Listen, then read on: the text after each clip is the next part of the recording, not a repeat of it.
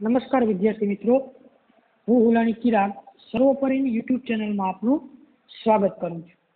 હવે મિત્રો, ધોરણ છ, વિષય વિજ્ઞાન અને ચેપ્ટર નંબર બે એટલે કે આહારના ઘટકો અને ભાગ નંબર છે મિત્રો આપણો પાંચ.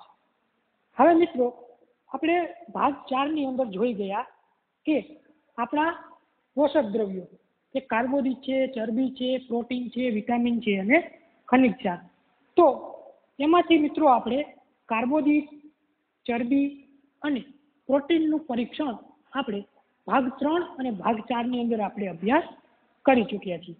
કે મિત્રો ખાદ્ય પદાર્થોની અંદર એ કયા પ્રકારનો પોષક દ્રવ્યો રહેલો છે એનું પરીક્ષણ આપણે કરી ચૂક્યા છીએ. તો મિત્રો હવે ભાગ પાંચની અંદર આપણે વિવિધ પ્રકારના પોષક દ્રવ્યો ક્યાંથી મળી આવે છે અને આપણા શરીરને શું કાર્ય કરે છે? તેના વિશે આપણે અભ્યાસ આ ભાગ પાંચની અંદર કરીશું. શેના વિશે મિત્રો? તો કે વિવિધ પ્રકારના પોષક દ્રવ્યો. અલગ અલગ પોષક દ્રવ્યો એ કયા પદાર્થમાંથી મળી આવે છે? એટલે કે એનો સ્ત્રોત કયો છે? અને એ આપણા શરીરની અંદર શું કાર્ય કરે છે? એટલે કે શું ઉપયોગી છે? એનું મહત્વ શું છે? એના વિશે આજે આપણે આ ભાગ પાંચની અંદર ચર્ચા કરીશું. તો ચાલો જોઈએ મિત્રો આપણે કે વિવિધ પોષક દ્રવ્યોના સ્ત્રોત અને આપણા શરીર માટે શું કાર્યો કરે છે?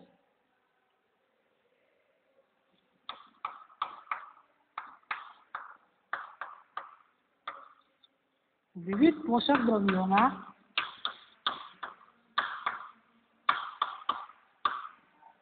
સ્ત્રોત અને તેનું મહત્વ.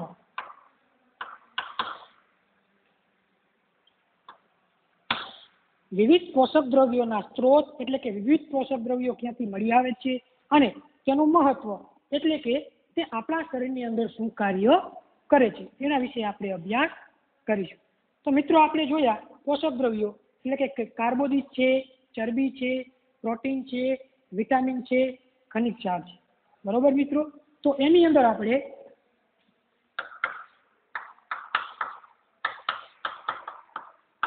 કાર્બોદિત, પ્રોટીન, ચરબી, વિટામિન, હે? ખનિજ ક્ષાર ક્યાં ક્યાં પોષક દ્રવ્યો છે મિત્રો? તો કે કાર્બોદિત છે, પ્રોટીન છે, ચરબી છે, વિટામિન છે અને ખનિજ છે. તો સૌ પ્રથમ મિત્રો આપણે ચર્ચા કરીએ કાર્બોદિત વિશે. કે કાર્બોદિત જે છે, જે ઘટક છે, જે પોષક દ્રવ્ય છે, એ કાર્બોદિત આપણને કયા ખાદ્ય પદાર્થોમાંથી મળી આવે છે? એટલે કે એનો સ્ત્રોત કયો છે? અને એ કાર્બોદિતનું શું? આપણા શરીરની અંદર મહત્વ છે. એટલે કે એ કાર્બોદિત આપણા શરીરની અંદર શું? કાર્ય કરે. છે એના વિશે આપણે જોઈએ. તો સૌ પ્રથમ જોઈએ મિત્રો આપણે કાર્બોદિત.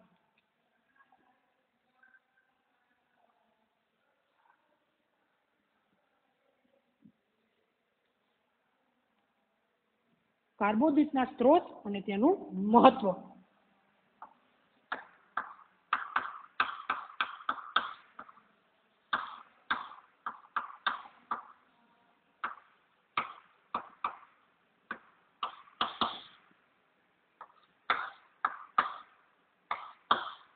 કાર્બોદિતના સ્ત્રોત અને તેનું મહત્વ. તો ચાલો જોઈએ મિત્રો આપણે કે કાર્બોદિત છે એ આપણા કયા કયા ખાદ્ય પદાર્થોમાંથી આપણને એ મળી આવતો હોય છે. તો સૌ પ્રથમ જોઈએ મિત્રો આપણે કાર્બોદિત છે એ ધાન્યોની અંદર. ધાન્યનો આપણે જે ખોરાક તરીકે ઉપયોગ કરીએ છીએ, જેવા કે અનાજ. ધાન્યો એટલે કે અનાજ. જેનો આપણે ખોરાક તરીકે ઉપયોગ કરતા હોઈએ છીએ. તો અનાજ તરીકે કોનો ઉપયોગ કરીએ? તો કે ઘઉં છે, ચોખા છે, વગેરે. એના સ્ત્રોતો વિશે માહિતી મેળવીએ સ્ત્રોતોની અંદર તો કે ધાન્યોમાં. ધાન્યોમાં કેવા ગયા? તો કે જોઈએ ઘઉં.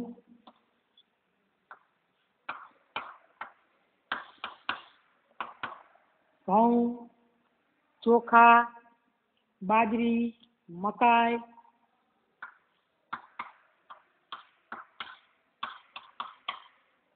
વગેરે.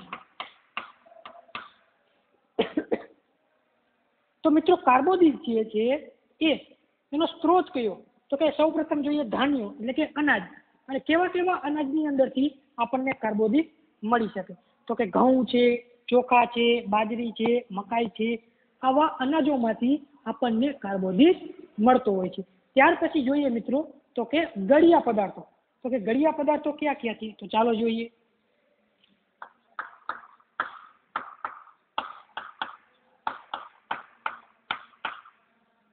તો કે શેરડી મધ શું મિત્રો શેરડી મધ ગોળ ખાંડ આ બધા ગળિયા પદાર્થો છે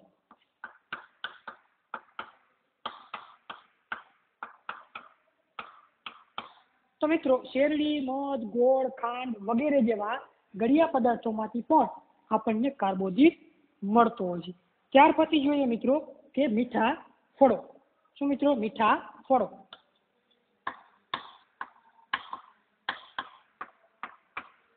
તો મિત્રો મીઠા ફળો ક્યાં ક્યાં હોઈ શકે છે તો કે સફરજન ચીકુ કેરી પપૈયું બરાબર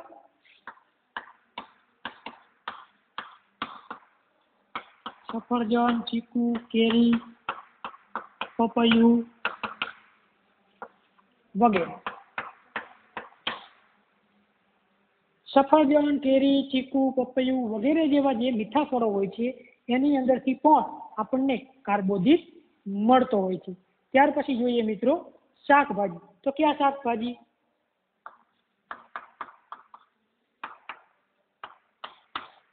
શક્કરિયું બટાટા વગેરે. શક્કરિયું બટાટા વગેરે જેવા શાકભાજી છે મિત્રો. એની અંદરથી પણ આપણને કાર્બોદિત મળતો હોય છે. તો આ થયા મિત્રો આપણે કાર્બોદિતના સ્ત્રોતો. તો આપણે પૂછવામાં આવે મિત્રો કે કાર્બોદિતના સ્ત્રોતો કયા એટલે કે કાર્બોદિત આપણને શેમાંથી મળે છે? તો આપણે કહી શકીએ કે અનાજો. અનાજોમાં ક્યાં ક્યાં છે? તો ઘઉં છે, ચોખા, બાજરી, મકાઈ વગેરે. ત્યાર પછી ગળિયા પદાર્થો. ગળિયા પદાર્થો ક્યાં ક્યાં? શેરડી, મધ, ગોળ, કાંડ વગેરે. ત્યાર પછી મીઠા ફળો. મીઠા ફળો ક્યાં ક્યાં છે? તો કે સફરજન, ચીકુ, કેરી, પપૈયું વગેરે. ત્યાર પછી શાકભાજી. તો શાકભાજીની અંદર ક્યાં ક્યાં છે? તો કે શક્કરિયું બટાટા વગેરે. તો આવા પદાર્થોની અંદર મિત્રો આપણને કાર્બોદિત મળતો હોય છે. આવા પદાર્થ ખાવાથી આપણને કાર્બોદિતનું પ્રમાણ આપણા શરીરને મળતું હોય છે. તો આ છે મિત્રો કાર્બોદિતના સ્ત્રોતો. હવે આપણે કાર્બોદિતનું શું મહત્વ છે? આપણા શરીરની અંદર કાર્બોદિતનું શું મહત્વ છે? એના વિશે ચર્ચા કરીએ.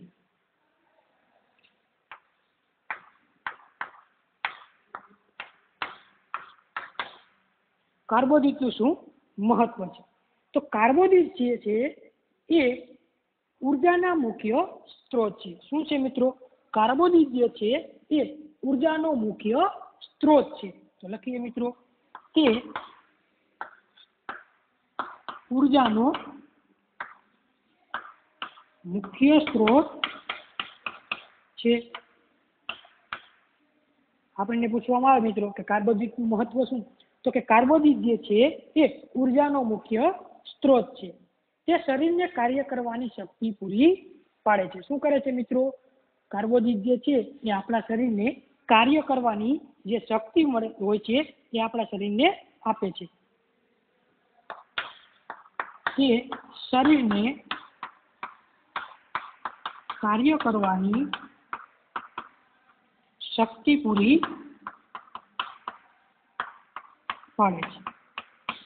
શું છે મિત્રો?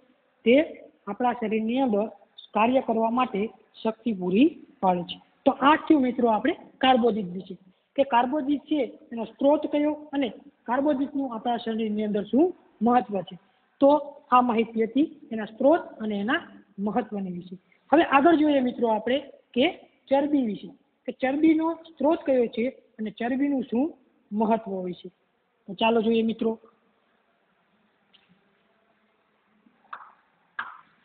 ચરબીના સ્ત્રોત અને તેનું મહત્વ.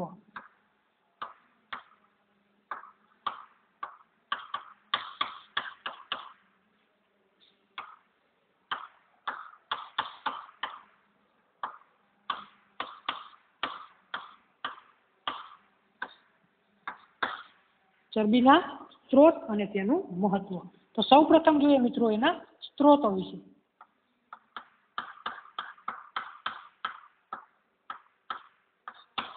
ચરબી આપણને ક્યાંથી મળી આવે છે. એનો સ્ત્રોત કયો? હવે મિત્રો, આપણે ખાદ્ય પદાર્થોની અંદર વનસ્પતિજન્ય પદાર્થ અને પ્રાણીજન્ય પદાર્થ એમ બંને પ્રકારના પદાર્થોનો ખોરાક તરીકે ખોરાક તરીકે ઉપયોગ કરતા હોઈએ છીએ. તો ચરબી છે મિત્રો, એ એના સ્ત્રોત તરીકે, એટલે કે વનસ્પતિજન્ય જે પદાર્થો છે, એ કયા પદાર્થોમાંથી આપણને ચરબી મળી શકે છે? તો ચાલો જોઈએ વનસ્પતિજન્ય પદાર્થ. ક્યાં ક્યાં છે?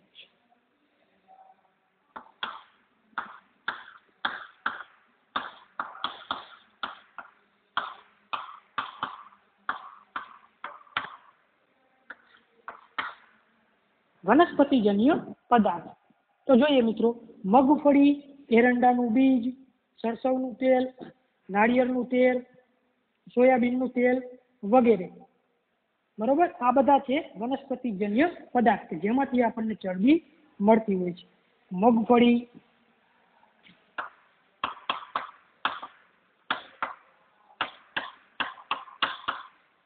એરંડાનું બીજ, તલ સોયાબીન, સરસવ તેલ, વગેરે. આવા જે પદાર્થો છે મિત્રો કે જે વનસ્પતિમાંથી મળતા હોય, તો આવા પદાર્થોમાંથી આપણને મિત્રો ચરબી પ્રાપ્ત થતી હોય છે. હવે પ્રાણી પદાર્થો જોઈએ આપણે, કે કયા પ્રાણી પદાર્થો છે કે એમાંથી આપણને ચરબી મળતી હોય છે? તો પ્રાણી પદાર્થો, તો કે દૂધ, માખણ, ઘી, ઈંડા, મલાઈ, માંસ વગેરે જેવા જે પદાર્થો છે, એમાંથી આપણને ચરબી મળતી હોય છે. તો બીજું છે પ્રાણીજન્ય પદાર્થ. ક્યાં ક્યાં? તો કે દૂધ, માખણ, ઈંડા, માંસ, મલાઈ વગેરે. તો આ છે મિત્રો ચરબીના સ્ત્રોતો. બરાબર? કે જેમાંથી આપણને ચરબી મળતી હોય. તો હવે ચરબીનું મહત્વ શું? એના વિશે ચર્ચા કરીએ. કે ચરબીનું મહત્વ છે કે તે શરીરને ગરમી અને શક્તિ પૂરી પાડે છે. શું કરે છે મિત્રો? ગરમી અને શક્તિ પૂરી પાડે છે. ચરબીનું શું આપણા શરીરની અંદર મહત્વ છે? કે ચરબી છે તે ગરમી અને શક્તિ પૂરી પાડે છે. એક થયો મિત્રો, કે ચરબી છે એ આપણા શરીરને ગરમી અને શક્તિ પૂરી પાડે છે. ત્યાર પછી જોઈએ મિત્રો, કે કાર્બોદિતની સરખામણીમાં ચરબી જે છે એ બમણી કે તેથી વધુ શક્તિ પૂરી પાડે છે. સમજાણો મિત્રો? કે કાર્બોદિતની સાથે આપણે ચરબીની સરખામણી કરીએ, તો કાર્બોદિતની સરખામણીમાં જે આ ચરબી છે એ ચરબી કાર્બોદિત કરતા બમણી અથવા તો વધારે શક્તિ આપે છે. લખો મિત્રો. તો કે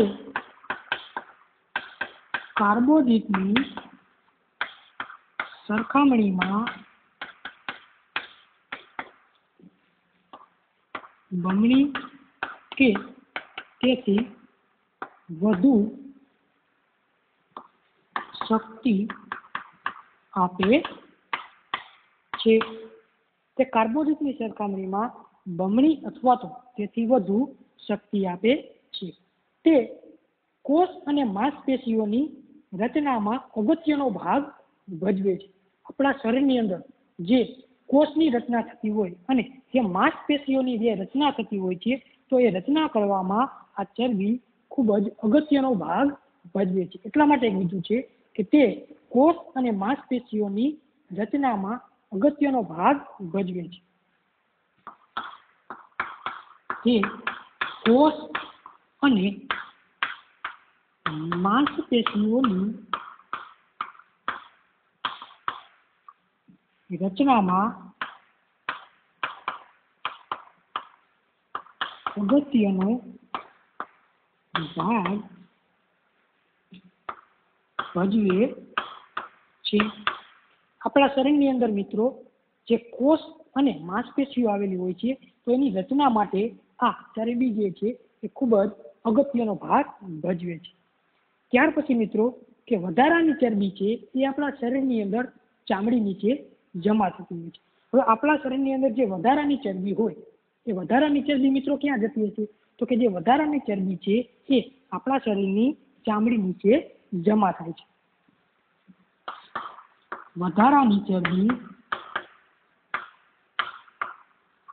શરીરની ચામડી નીચે જમા થાય છે. વધારાની ચરબી આપણા શરીરની ચામડી નીચે જમા થતી હોય છે. હવે મિત્રો, ચરબી જે છે એ ઠંડી સામે રક્ષણ પણ આપે છે? તો લખી શકો મિત્રો. ચરબી તે શરીરને ઠંડી સામે રક્ષણ આપે છે. તે શરીરને ઠંડી સામે રક્ષણ પણ આપે છે. ત્યાર પછી મિત્રો જોઈએ કે તે વિટામિન એ ડી ઈ અને કે જેવા ચરબી દ્રાવ્ય વિટામિનોના અભિશોષણ માટે જરૂરી છે. તે વિટામિન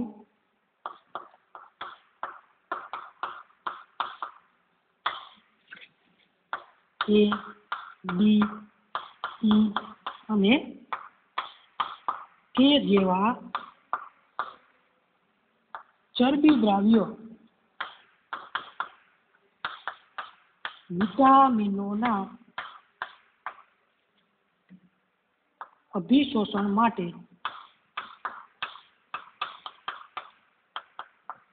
જરૂરી છે.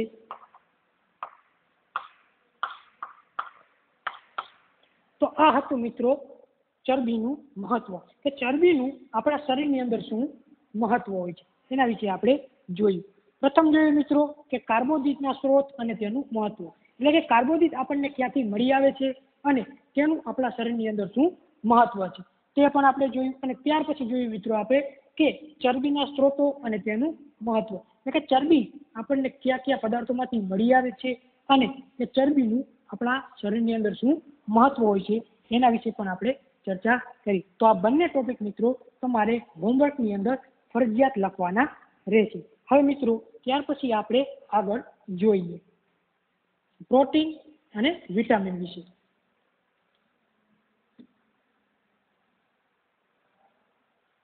હવે આના પરથી મિત્રો આપણને ખ્યાલ આવે કે કાર્બોદિત અને જે ચરબી છે એ આપણા શરીરને ઊર્જા આપવાવાળો ખોરાક છે. કેવો છે મિત્રો?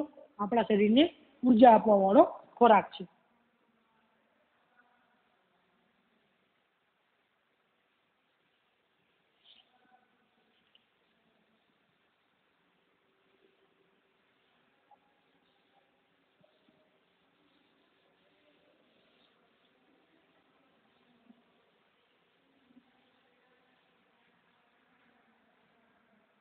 હવે જોઈએ મિત્રો આપણે કે પ્રોટીનના સ્ત્રોત અને તેનું મહત્વ.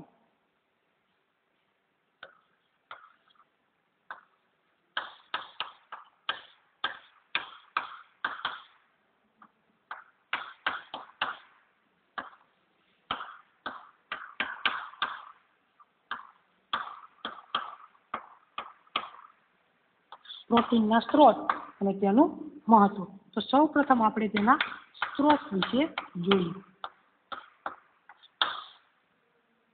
એટલે કે પ્રોટીન ક્યાંથી મળી આવે છે અને એ પ્રોટીનનું આપણા શરીરની અંદર શું મહત્વ હોય છે? તો પ્રોટીન આપણને કઠોળમાંથી ભરપૂર પ્રમાણમાં મળતું હોય છે. તો કેવા કઠોળો? તો ચાલો જોઈએ.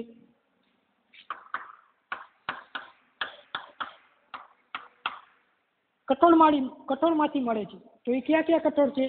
તો કે તુવેર છે, મગ છે, ચણા છે, વટાણા, વાલ વગેરે. તુવેર, મગ, વાલ, ચણા, વટાણા વગેરે.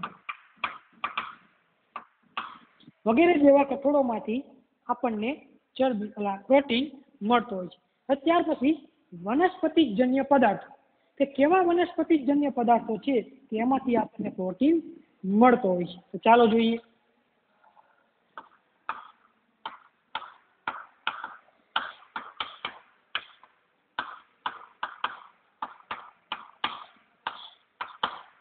વનસ્પતિજન્ય પદાર્થ કે મગફળી, સોયાબીન.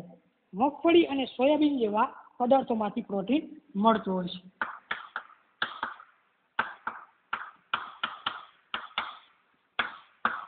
મગફળી અને સોયાબીન જેવા પદાર્થોમાંથી આપણને પ્રોટીન મળતું હોય છે. હવે જોઈએ મિત્રો પ્રાણીજન્ય પદાર્થ, કેવા?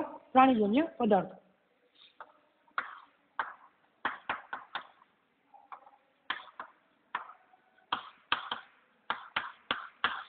તો એ પ્રાણીજન્ય પદાર્થ ક્યાં છે? કે જેમાંથી આપણને પ્રોટીન મળતો હોય છે. તો કે દૂધ, ઈંડા, પનીર, માંસ, માછલી, માખણ વગેરે. દૂધ, ઈંડા, પનીર, માંસ, માખણ વગેરે.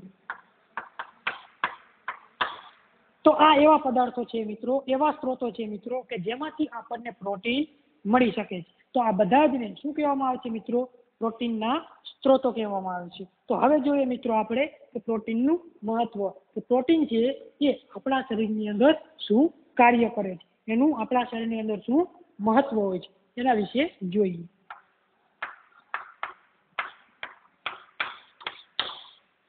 તો પ્રોટીનનું મહત્વ. કે પ્રોટીન છે એ નવા કોષો અને પેશીના સર્જનમાં તથા તેમના બંધારણ માટે ઉપયોગી છે. પ્રોટીન છે, એ આપણા શરીરમાં શું ઉપયોગી છે? તો કે નવા કોષો અને પેશીના સર્જનમાં. તે નવા કોષો અને પેશીના સર્જનમાં તથા બંધારણમાં ઉપયોગી છે. બરાબર મિત્રો? તે નવા કોષો અને પેશીઓના સર્જનમાં તથા બંધારણમાં ખૂબ જ ઉપયોગી હોય છે. તે આપણા શરીરની અંદર થતી જૈવિક ક્રિયાઓનું નિયમન કરે છે. શું કરે છે મિત્રો? પ્રોટીન છે એ આપણા શરીરની અંદર થતી જૈવિક ક્રિયા. જૈવિક ક્રિયા એટલે શું? એ તમને કદાચ નહીં ખબર તો જૈવિક ક્રિયા એટલે કે દાખલા તરીકે માની લ્યો કે આપણા શરીરની અંદર જે પાચન ક્રિયા થાય છે એ પાચન ક્રિયાને કેવી કહેવાય મિત્રો? જૈવિક ક્રિયા. તો આપણા શરીરની અંદર થતી જૈવિક ક્રિયાઓનું એ નિયમન કરે છે. જૈવિક ક્રિયાનું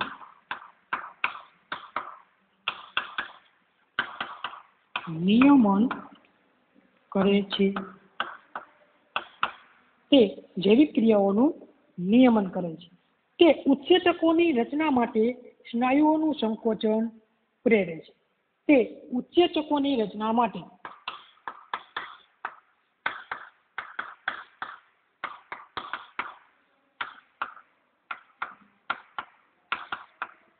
સ્નાયુઓનું સંકોચન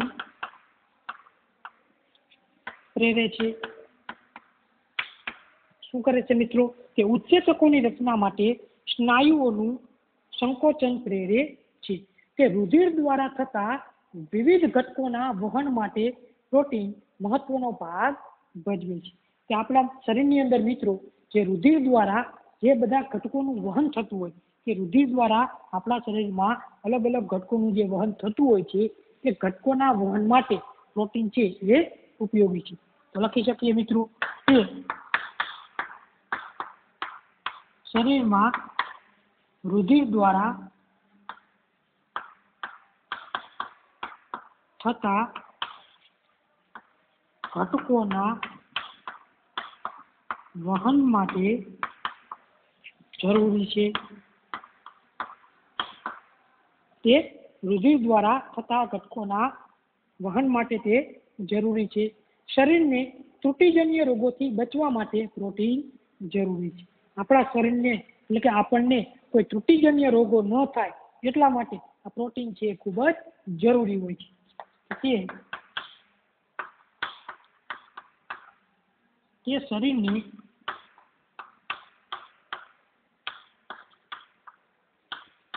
ત્રુટિજન્ય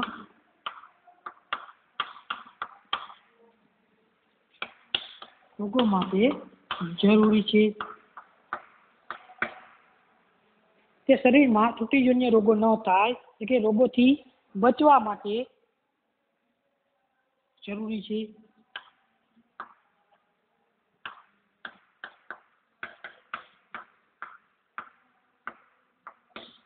આપણા શરીરને કોઈ ત્રુટિજન્ય રોગ ન થાય તેના માટે પણ આ પ્રોટીન જરૂરી છે. તો મિત્રો, આ હતી પ્રોટીન વિશેની માહિતી. એટલે કે પ્રોટીન આપણને ક્યાંથી મળી આવે છે? તેના વિશે આપણે જોયું. અને તે પ્રોટીનનું મહત્વ શું છે? એટલે કે પ્રોટીન આપણા શરીરની અંદર શું ઉપયોગી છે? એના વિશે પણ આપણે ચર્ચા કરી હતી. તો આ ત્રીજો ટોપિક પણ મિત્રો તમારે હોમવર્કની અંદર ફરજિયાતપણે લખવાનો છે. અને હવે જોઈએ મિત્રો આપણે આગળ કે વિટામિન વિશે. ચોથું આપણું પોષક દ્રવ્ય છે વિટામિન હવે આપણે જોઈએ વિટામિન વિશે.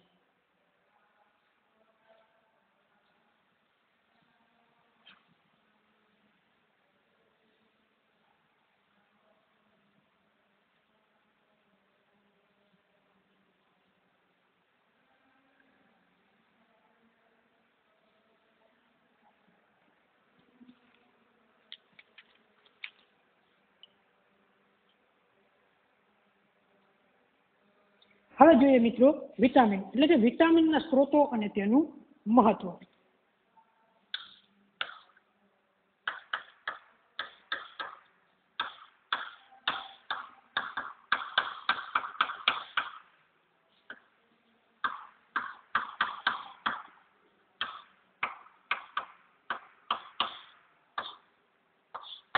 વિટામિનના સ્ત્રોતો અને તેનું મહત્વ. એટલે કે વિટામિન આપણને ક્યાંથી મળી આવે છે અને તેનું આપણા શરીરની અંદર શું જરૂરિયાત હોય છે. એના વિશે આપણે અભ્યાસ કરીએ. તો સૌ પ્રથમ જોઈએ મિત્રો આપણે કે વિટામિનના સ્ત્રોતો.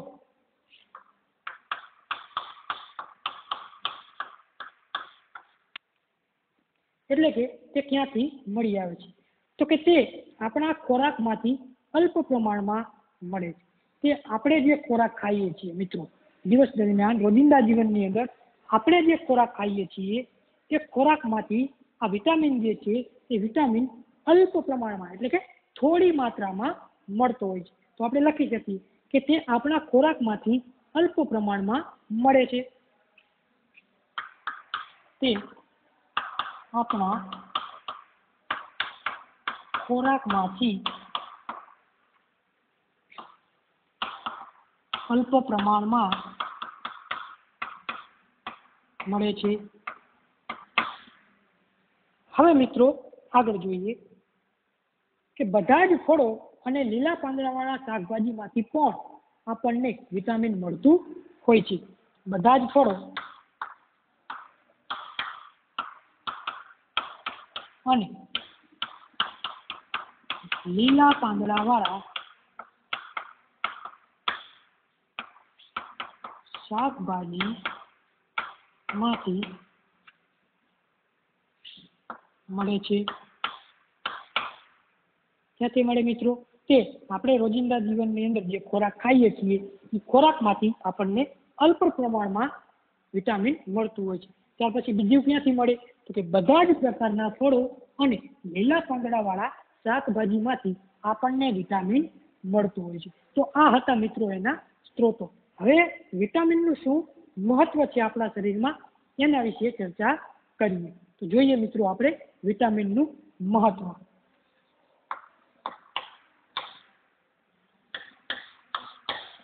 વિટામિન શું આપણા શરીરમાં કાર્ય કરે છે? અથવા તો આપણને શું ઉપયોગી છે? એના વિશે જોઈએ. કે તે શરીરની વૃદ્ધિ માટે ખૂબ જ જરૂરી હોય છે. વિટામિન જે છે એ આપણા શરીરની વૃદ્ધિ માટે ખૂબ જ જરૂરી હોય છે. તો લખી શકીએ મિત્રો? તે શરીરની વૃદ્ધિ માટે જરૂરી છે. તે શરીરની વૃદ્ધિ માટે જરૂરી છે. તે શરીરની રોગ પ્રતિકારક શક્તિ વધારે છે. શું કરે છે મિત્રો? કે આપણા શરીરની અંદર એવી શક્તિ હોય છે કે જે બહારથી આવતા રોગોના કીટાણુઓનો નાશ કરે છે. જેને શું કહેવામાં આવે છે મિત્રો? રોગ પ્રતિકારક શક્તિ કહેવામાં આવે છે. તો આ વિટામિન જે છે એ આપણા શરીરની અંદર રોગ પ્રતિકારક શક્તિનો વધારો કરે છે. એટલે કે તે શરીરમાં રોગ પ્રતિકારક શક્તિ વધારે છે.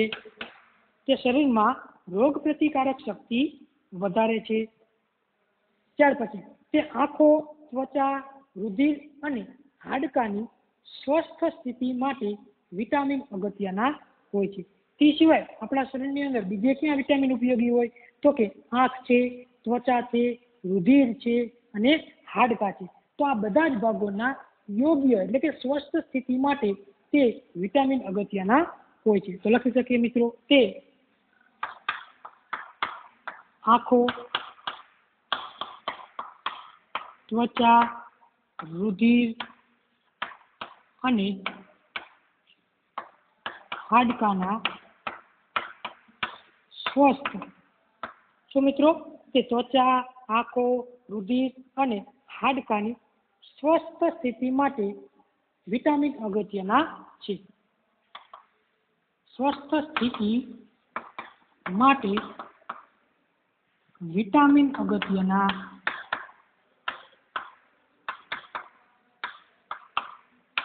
છે. તો આ હતું મિત્રો મિત્રો એનું મહત્વ. કે વિટામિન આપણને ક્યાંથી મળી આવે છે? એનો સ્ત્રોત કયો? બરાબર? અને એનું મહત્વ આપણા શરીરની અંદર શું છે? તો એના વિશે આપણે ચર્ચા કરી. તો આ મુદ્દો હતો આપણો ટોપિક નંબર ચાર.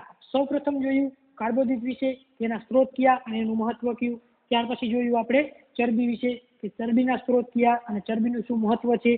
ત્યાર પછી પ્રોટીન વિશે જોયું. કે પ્રોટીન આપણને ક્યાંથી મળે અને તેનું શું મહત્વ છે?